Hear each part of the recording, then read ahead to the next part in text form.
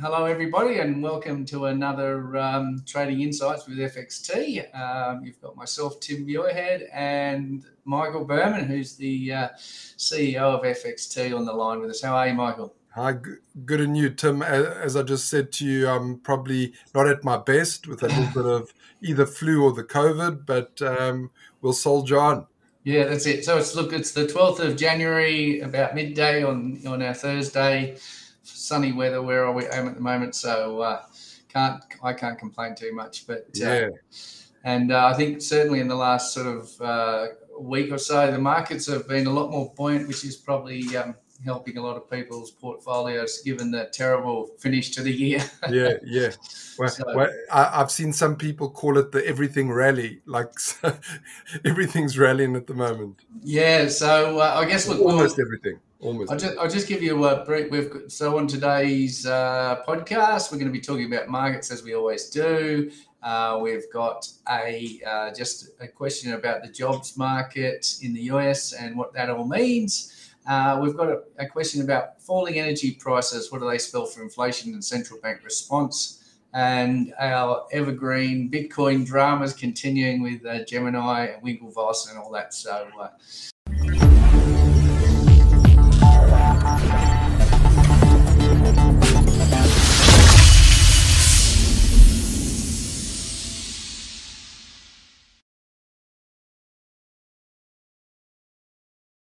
I guess we'll uh, we'll take it there from a, a, bit of a market wrap, if you like, Michael. So, yep. Um, okay, so look, um, I guess yeah, end of last year it was pretty disappointing. I guess the sense that we didn't get the Christmas rally, uh, but look, in the last sort of week or so. Um, we've definitely seen um, a lot more positive price action. So, um, it, it uh, and it was probably at the right time too. Look, we had a Nasdaq. If you look at a log channel, I should have actually got the chart ready, but on, on a log channel going all the way back from 2008, we're at the bottom of the trend, and we're worried that if uh, if it broke there, broke down, we could you know start a bit more of a cascading fall. Um, but it's look, it's held in, and um, you know Nasdaq's bounced, the S and P 500's bounced. I think pretty much most major markets around the world have been uh, pushing on stronger. Uh, look, people asking for catalysts. Well, you know, I mean, um, partly just because I think the market's sort of looking that the Fed might pause, and we'll get into a bit more of that. But also, I think China uh, coming back online, that's really been pushing commodity prices up stronger. Uh, and just with the fact that, um, yeah, the US dollar has been dropping now. Last year, you might recall, US dollar going up. That was sort of, then the markets were going in the opposite direction. We're now seeing a bit of US dollar weakness supporting the stocks. Um, so, uh, you know, I guess that's all been, um, you know, good, good news uh, for the markets. Uh, we've got CPI out tonight. That's obviously going to be important. Um, look, if we get a higher number, that might sort of terminate this rally quickly. But uh, uh, a lot of the, you know, drivers for the inflation are coming off. Um, I guess the only one that's not is the labour market, which is very strong. We saw that last, uh, I think it was Thursday just the job numbers are still pretty strong 200,000 people added.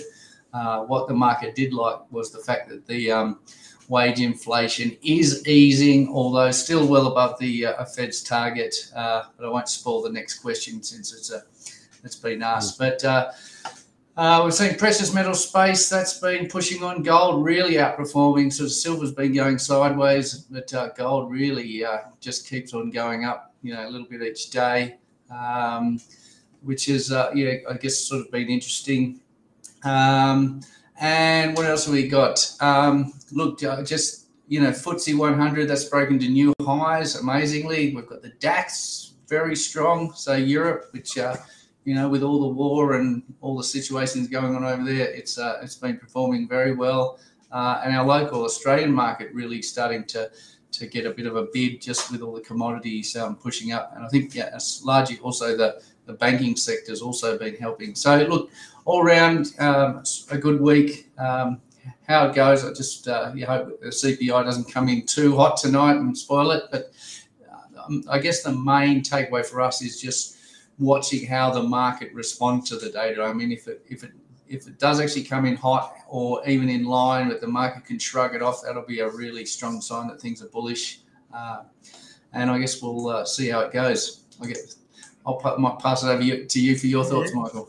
Yeah, so I'll start off with a, you know, just a commentary on on using my navigator on how things have got. But ju- just to before I, I begin on this, just to mention that yeah, I haven't seen so many eyes on the CPI number coming up our time, uh, morning time in the US on Thursday. Um, it'll be later our time. But yeah, I, I think this is going to be a big catalyst for a move either way.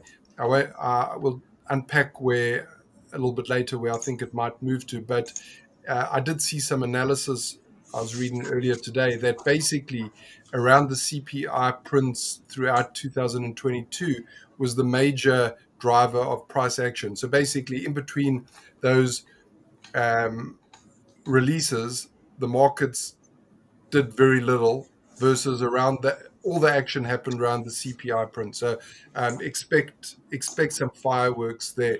If you're talking of fireworks, if you look at year, year to date, month to date, it's the first month of the year, uh, it's pretty much been a, a, a, crypto story. So yeah, I mean, we we having big moves today.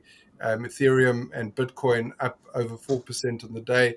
You can see that uh, on the week, ten percent, um, eight percent, and then yeah. So you can see we we've had some big moves. You can also see the Hang Seng index has been very strong, and I guess that's on the as has um, the China the mainland hasn't been as strong as as uh, the Hang Seng. I can't really explain why, but uh, I'll just say that I guess the market's starting to discount that COVID will soon be something of the past and and starting to you know look forward to some interesting things. And yeah, you can see the broader indexes, the the Nasdaq and the S and P, they've all been strong so far this this year. What's what's actually been on the weak side is been um, some of the commodities like coffee, which is interesting, is has a, had a um, a rough time. Maybe people aren't ordering their lattes and cappuccinos like they were like. Um, uh, I, I, can't. I'm, I'm not sure what's what's the story behind all of that. And then you see the oils, um, and the gas uh, has been has been a bit weak. But I know that this week they've actually been bouncing. So it was a lot weaker. Let me say it like that. If you looked on it like from a price journey point of view, let me just show you this. Um, this bottom one here is Brent. So it, it started the year off really weakly, uh, got down to minus 10%, but it's now only sitting at minus three and a bit percent. So, you know, are we putting in a base there? Um, I'm not 100% sure. Just while I've got my charts up, I'll just take a look at one particular chart, the the, the S&P 500. I just want to say that we are are coming up against this trend line here, this downward trend line here. So this will be some resistance as well as um, the 200-day moving average, and you know we we are we are pretty close there. So so um, yeah, if I, I, put it to this way: I, I, depending on where the CPI goes, I, I wouldn't be surprised if um, we start, you know, we we we trend lower. So I'm bearish. I'm bearish this bounce. I see I see it as another, you know, um, bear market rally. I'll, I'll yeah. leave it there for now. No, that's look. That's um, and and I guess I can probably add to that, um, which actually follows into our um, our next question, Michael, which is uh, last week we got the jobs, uh, the market talking about the jobs report in the US. Is the market hot or not? Uh, now, um, so just um, briefly, look, the jobs came in about 200,000. I think it was a slight beat. Um, and look, wage inflation was down. We also had some um, uh, retail, so, oh, sorry, PCI numbers that came out, which are actually weaker. So off the back of that, you look, the market took that as um, the Fed will be in, in, a position to pause eventually. But what we need to uh, just highlight is that, um, look, the Fed said their target uh, for unemployment is about 4.6%, right? Um, they're currently at about 3.5%. So, for, in order for them to get to their target, they basically have to shed a million jobs right? Now, uh, this is, I guess, a good story and a bad story. So, look, the good news is that um, the labour market resilience is, um, you know, what will underpin the US economy. I mean, consumers are actually, um, look, they drive, drive about 70% of US GDP based off consumer spending. Um, a stat I saw, look, um, was that last year the US created four and a half million jobs. If you look back at the data um, through history, I think it says that um, uh, since the 1940s, only one out of 17 years that followed um, uh, that kind of job creation ended with a severe recession. So they might be uh, overblown and we could see a softer landing. Look, but the bad news is that um, Chair Powell's made it very clear in his last month's uh, statement that he needs unemployment to rise. Um, look, they have, uh, you know, wage inflation objectives, and he's like he's used the word pain to describe it. So we believe that look, there still could be. Um, they still could be more rate hikes in the pipeline, line, or at least they're going to hold it higher for longer. So I tend to, I guess, agree with you in the medium term that this is a bear market rally. Um, I think we're a little bit early. I think you know um, markets. Uh, I mean, at the moment we're getting everything rally, even the junk at the you know the bottom, all the stuff that should be going to zero is rallying. Uh, but you know, markets try and discount the future.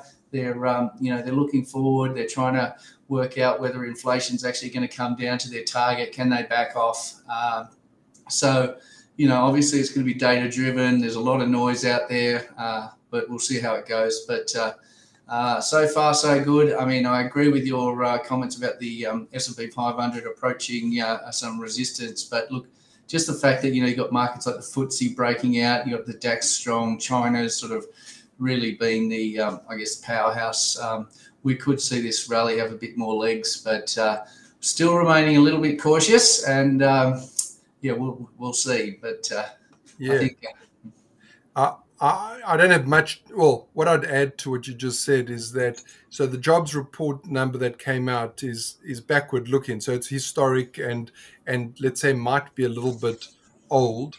Um, what I'm seeing is the following: is well, you, you've seen some high profile companies making announcements that they're laying off people. So, um, almost on a daily basis, you hear in companies say that they're laying off. And and I looked at some economic data um, in terms of forward expectations, like the the various high profile uh, forward gauges like the ISM and and PMI and all this kind of these these indexes and and things are pretty um, pretty pessimistic. Let's say from small business point of view going forward um, for the for the early part of this year. So there's a there's quite a bit of negativity on on on let's say expectations for business, and and I think that's likely to morph into more job losses. I, I think what I'd like to to take from this is that when when the top companies, the guys who actually were the most amongst the most profitable in in the last few years, are the ones that are cutting. It's normally a, a sign that good management is is getting in and they're not you know falling in love with a thesis that this is you know i think they know things that you and i might not know from being on the ground and getting all that intel from these massive companies that they run and uh, i mean maybe this kind of sets up the part of the next question but i was trying to explain to my family last night that interest rates going up make things more expensive. Um, yes, you got less disposable income because you, you know you're paying more on your mortgage and and and that kind of stuff, but it doesn't really bite until um, until you lose your job because then you know up until then it's it's it's uncomfortable or you you know you're forced to tighten your belt and and all this kind of stuff and spend a little bit less but when you got no job or there's zero income then um, things start to become quite scary, and and one tends to have to sell assets to to get the, rid of the debt that's causing the harm. So anyway, um, uh, it's not all doom and gloom yet, but I, I think I think we've had. Uh, in terms of steepness with these interest rate hikes, I think it's amongst the highest steep. Uh, it's been like the sharpest raise in in if you go back 50 years. So it's it's been pretty aggressive. Yes, it was off, and it was off a zero base. And I know that there's a um, to use a very eloquent term, there's a shit ton of debt out there. So um, you know, it it could hurt a lot.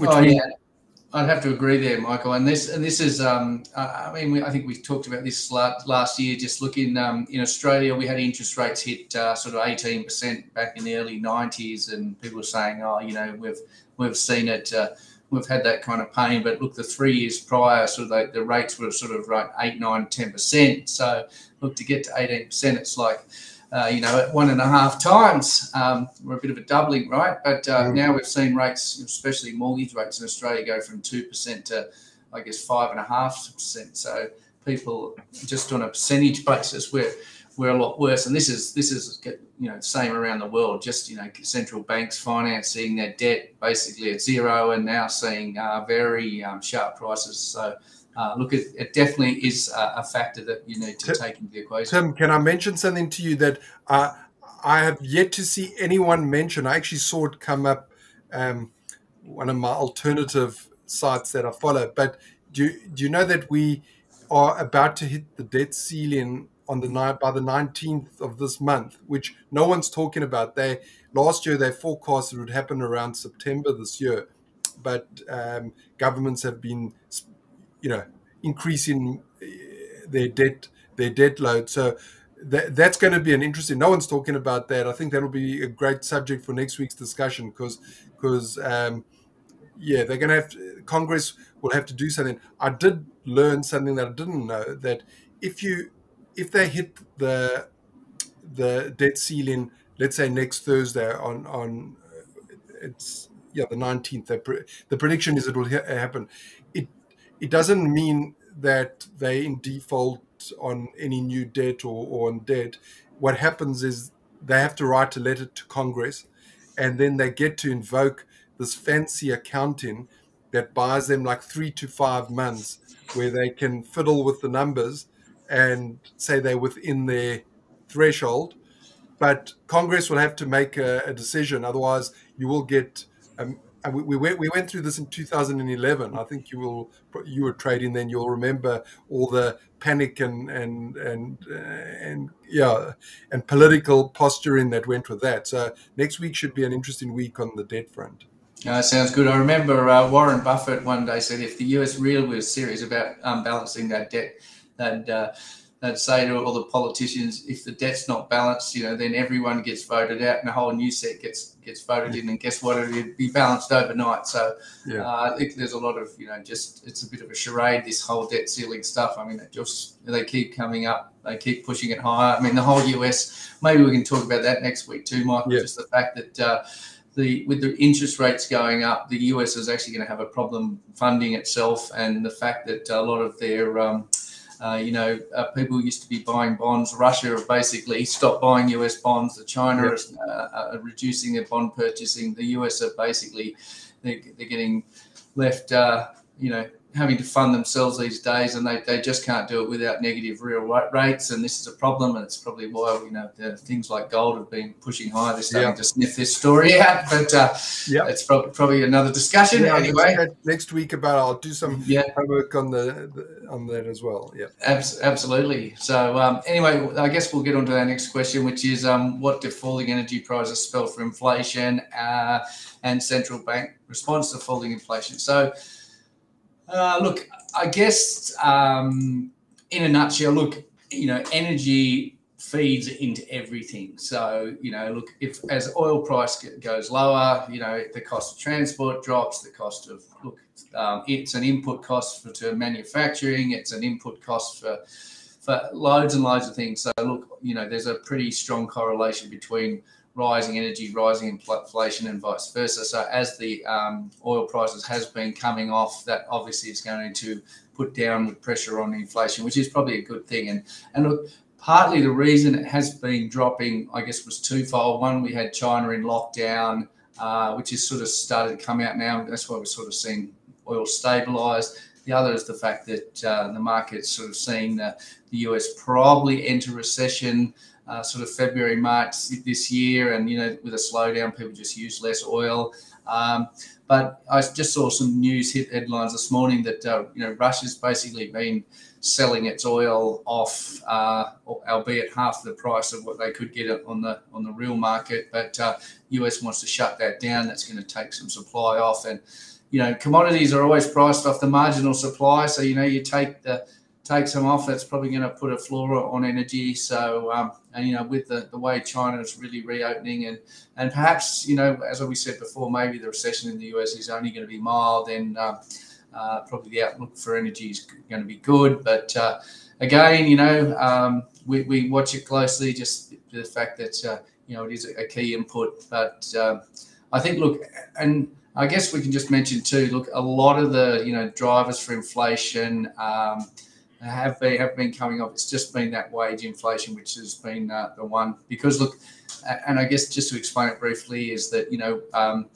if people are getting pay rises, then they can afford the inflation, and it's sort of a psycho- psychological thing. You know, if you can afford to pay more, they can. You know, they keep spending. So uh, it's quite. A, I guess it's a. Um, it's, it's probably a, not a well understood. It's, stood topic inflation. We really haven't seen it for a long time. We sort of got the first bout of it, you know, the last couple of years. But uh, uh, there are long and variable lags, as we like to say, and uh, um, a lot of these things take a while to play out. And as you said, Michael, the data we get is often uh, looking, you know, we're looking in the rearview mirror. So, mm.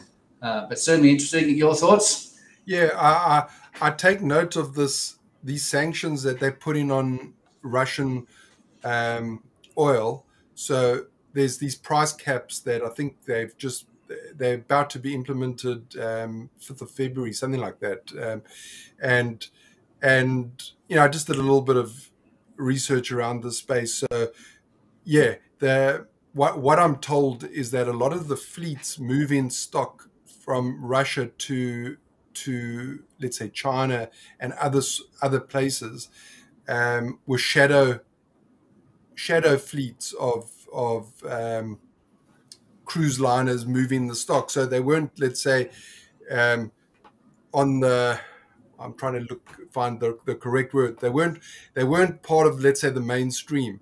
Um, the the mainstream fleets cannot get insurance, and they cannot, um, you know, they cannot operate effectively if they're not be if they're not adhering to the sanction rules.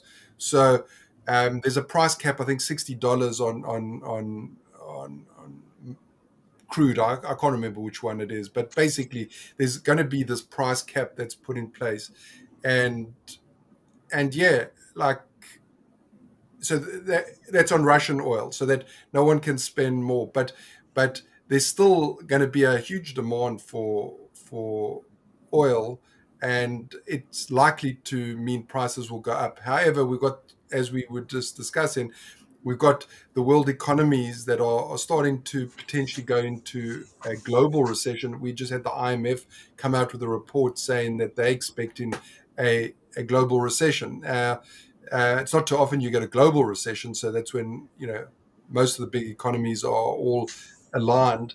Um, so this is going to be something interesting to to watch. I think just a couple of points I just want to add that you know caught my eye, which wasn't surprising, is that earnings per share. I'm sticking mainly to the US here when I when I speak this, but you know it will flow through to other large economies. That earnings per share are expected by you know to drop significantly. Um, or let's say like this: earnings per share growth is is expected to drop significantly. Some Morgan Stanley, for instance, is expecting negative um, earnings per share. So it will actually drop, not just it won't it won't be flat or, or go up marginally, um, which is obviously going to put some pressure. We've got interest rates that have gone up, so the risk-free rate. So everyone who, who did a bit of finance will know that valuations are derived by by your risk-free rate, which is used as the discount factor plus a premium, and and also growth, um, growth in in E in earnings is part of the the calculation, depending which model you use. Anyway, um, the, the, so that, that that should put a a cap on on let's say valuations. I think we're still overvalued. The other the other point that I wanted to make is I saw today that the Fed fund futures are discounting in the latter half of, of this year. They this year they already factor in cuts, 40 basis points cut. Now, not in the history of um, the Fed, the from what I can remember, in they they've never stopped. They've never kept their hiking when the Fed funds is as negative is negative real rates. In other words, when inflation when you subtract inflation from it, it's still negative. So normally it will cap it will cap um, its hike when there's positive real uh, real, real rates in the futures, uh, the, the Fed funds rate. Yeah, so, I was going to just say, yeah, Fed funds normally have to go above CPI, which is yeah another way of saying it. That's it. Yeah, correct. They need to go above CPI. Okay, and and so my my my take on on all of this. Yeah, here's my crystal ball long term because what's going to happen tonight, uh, I have no idea. I mean, it's a bit of guesswork.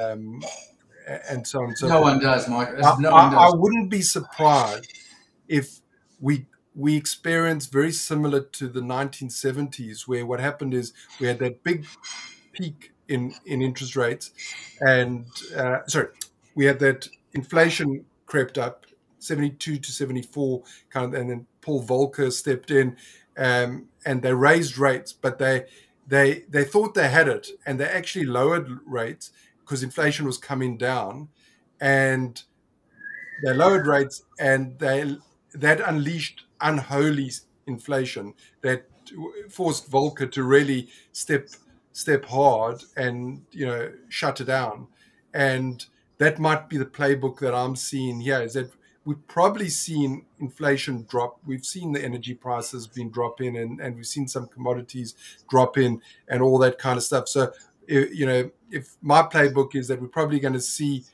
we're probably going to see some inflation numbers that are slightly lower than forecast, and people are start start going to discount the fact that Fed funds are coming down or they're not going to hike anymore, and we might have a little bit of a rally. Um, and if the Fed does throw in the towel early and does start cutting, I think it would be a horrible mistake. I think you, you, I'm just thinking, I'm just pondering, yeah, to like. Yeah, and look, can I can I add to your story is that um, uh, 2024 is an election year. I mean, we know the Fed and it, like it, it's independent of government, but look, at the end of the day, uh, yeah. they're closely tied. So you know, election year, they'll want to yeah. be. Uh, uh, you know, dropping rates and, and stimulating and doing whatever they can to get re-elected. And, um, you know, so look, absolutely that is a risk. Uh, and certainly I think the history shows it's not the first wave of inflation that scares people, it's the second wave. And um, if yeah. that does come, and I, look, I think that's too when, um, uh, well, I guess that's a look further down the track. But uh, you know, as the penny starts to drop to people that inflation here is here is not going away. Again, this is why we like our precious metal story as a, a longer term play. yeah, uh, you need to own real assets in times of inflation. So, uh, but, uh, correct, because that you know. If they print more money and we get this inflation, it's going to be ugly. And and there's our story with gold, which has been a you know it it it has been fortunately a it may be the it's on a it's on a decent sized rally at the moment. Um, let me just tell you what what it's up what's gold up this year. Gold is up three percent this year, and was flat for for. So you know, could this be the start of a big rally? Interesting. Yeah, I mean, I think look, um, gold was down at like 16, 20, uh, sort of in the latter parts of the, uh, the year, and now it's up to sort of 18, 80. So, I mean, sort of a it's a pretty big move. You know, two hundred and fifty dollars. Uh, certainly starting to get a lot of people's attention. Um, whether this is the start or whether it flaps about, look, you know. Um, uh, look, it, it really does depend on the Fed and get what going and you know, going forward, and it's it's very difficult to make long term predictions. And e, and e gold, what virtual gold? what's your thinking there? Well, we might as well get onto that. So, yeah. look, I, I will just give you some. I mean, look, um, basically, you know, crypto, it's it's it became crypto, I should say. Yeah, it just look everything went wrong. We had you know FTX, we've had Luna blow up, we've had you know Gemini, we've had all sorts of exchanges going bust, completely lost. It's you know down. What is it? Down seventy five percent of what from the highs, going sideways. Complete. Everyone's lost interest. But look, in the last few weeks, it's starting to show a bit of signs of life. Now, very early days, but I think we're up eight days in a row now. That hasn't happened since. Um, June 2020. We're starting to break a few, uh, few trend lines, a few levels, uh, and this is how these, um, you know, I guess bottoms form. They take a while, and uh, it's starting to get go. Now, I'll, I'll, just put it out there. I mean, this is early days. This could just be a, a false dawn. There's been a few of them, but um, starting to show a few, few signs of life. And I guess um, just from a sentiment point of view, I mean, sentiment in the space is so negative right now. It's just like no one wants to talk about, you know, basically trading crypto. And I think if that sentiment just swings from severe negative, just even back to sort of, you know, even before, not even neutral, I think uh, it could catch a bid. And again, like we see with crypto, once it starts to go, you know, this, the momentum builds and it can definitely go a long way. So, um, watching it closely. Um, again, keep your money away from the exchanges, you know, cold wallets, all that kind of thing. You need to know what you're doing. So, um, but it's certainly. Is, uh, is it, yeah, isn't it a good lesson for um, what you're just saying there for, uh, let's say, newbie traders or, or even seasoned traders? Because we, we tend to forget this is that bottoms are made when there's blood in the street and no one, there's no one left to sell effectively. And you know a few people start buying and the price edges up. And as you say when sentiment's so negative and and yeah i looked at a, quite a few of the different crypto charts um, and it has all the makings. Yeah this could be a false a false start um, and we could you know continue down uh, late in the year we could make new lows. But i will say it has all the lookings uh, it has all the ingredients um, for this to be the major bottom and for it to actually now start a major a major new rally um, or let's say going to a new bull phase. So yes. it, it, it's interesting. And it's the same on the other side. When when markets are so frothy and so when everyone is bullish then there's no one left to buy. And that's how uh, a top like sets in. And suddenly before you know it um, there no, be no more buyers. The price starts coming down, and people, yeah, and, and so the cycle goes. So uh, markets work in in that form, go from overbought to oversold, and oh, absolutely, yeah. And uh, look, I, I, think you're right. I mean, um, look, the lessons we've learned, um, I guess, in the last sort of six months is you've got to, you know. Uh, having your money on exchange, um, especially one of these crypto ones that are not regulated. I'm not. I'm not talking about FXT, which is a regulated one. Uh, but having, you know, you've got these things in Cayman Islands or who knows where they are. When they go down, they're just gone. You've got no chance of getting your money back. Um, so, uh, and look, I guess the other one, just like with we've seen with Gemini, you know, you're basically loaning your crypto out to get a yield. When the when the yields seem too good to be true, well, you know, they probably are, and it turns out they were. And uh, uh, you know, I guess a lot of lessons, hard lessons, are going to be learned by a lot of uh, investors, which is unfortunate. But uh, this is as old what, as what, what, what's your thinking with the Winklevosses? Like, because you know, my, they promised their clients eight percent in an environment, I guess, where they were get clients were getting zero from the bank. So, because you know, dates eighteen months, let's say, so. Um, do you think there's culpability on their side? I mean, they're going out hard for this um, digital uh, crypto D. Uh, what is it called again? D, DRC or DCR? Um, uh, yeah, that's right. It's, it's, a three-letter acronym. It yeah, digital coin. It's digital coin token, something like that. Yeah, anyway, yeah, that's right. Um, Yeah, look, definitely. I guess the Gemini brand has been severely damaged. I think um, you know the Winklevosses themselves. They're going to try and uh, shift the blame. But look, at the end of the day, you know, if you're offering a product to your clients and it goes belly up, you've got to share some of the responsibility. I would think, so they won't walk away completely scot free. But um, yeah, I mean, look, at the end of the day, I say to people, you've you know you've you've really got to um, you know own your, your business or your investing decisions. You've got to know what you're investing in. I mean, everyone's always said crypto's are quite a risky space. Uh, we, you know, we're finding out just how risky it can be. Uh, which you know, unfortunately, obviously, and look, I know a lot of people, especially when they're young, it's the old YOLO. Uh, you only live once, th- throw everything in. They've lost it again. Well, you know, they've got time to start again.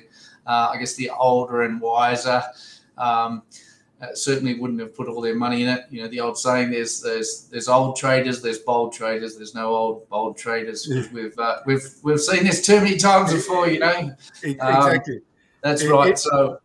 Yeah, if I can just add, um, just my final thoughts on on the on this is, you know, I at one stage I followed the Winklevosses on on Twitter, and I actually had to unfollow them after a couple of months because through the crypt through the crypto mania, these guys were cheerleaders like I have never seen. It was it was nauseating to the extreme. Basically, oh, yeah. yeah. when when it dipped a dollar, uh, I, am exaggerating. When it dipped a few, they just said, "Load up the truck. This thing's going to the moon." They were so irresponsible, as yeah. far as I'm concerned, and Look, they forget that, all that. Yeah, and look, I mean, we're running low on time, so sorry to cut you off a little bit, bit there. But um, so the Winklevosses were on. it. I saw them doing an interview once, and they were saying like the outlook for gold's terrible, and the reason why is that we're going to start mining asteroids uh, for their gold, and that'll just over. And it was just uh, like if anyone wants to work out the cost of trying to get rockets into space to try and find an asteroid and shift it, and then you know, have one coming in at the atmosphere at eight kilometers a second. Uh, it's not exactly uh, something that anyone's going to let you do. I mean, it was yeah. just outrageous, and that it was a nonsense. They knew it was a nonsense, and these guys are from Harvard, right? They are smart guys. Yep. They know it's a nonsense. They're just spreading, I guess, fud about other things. I, I think you know, it, as you say, completely irresponsible. Um, yeah. Look, I don't really want to say whether they should or not, but look, you know, at the end of the day, they're not going to be scot free, and uh, you know, but, I think. But I think Tim, what, what, that that's I think the value in what we try and give out between the two of us talking, being experienced practitioners, is that we we give in a best um, understanding. There is no absolutes. No one knows what the future on these prices are going to be. So in anything. So anyone who tells you it is going to this guaranteed you've got to be very very skeptical of and i think that's something you and i try and keep our, our heads you know um, it, we can make a we can make a prediction but it's never 100% it's we've got a strong feeling that's i think that's the message we want to give to our listeners yeah, that's right. And that's probably a good note to edit on, Michael. So uh, we'll leave it there. So, uh, yeah, you've had me, Tim Muirhead from Arbidyne, and we've had Michael Berman, who's the CEO of F XT uh, another week. And uh, look, uh, so we've got some questions self-generated this time for next week. We'll uh, so yeah. hopefully it can be an interesting show. So uh, thanks everyone for watching. Leave your thanks everyone. questions and comments below and all that as you normally say. And uh, see you next week. Thanks. See you next week. Cheers. Bye.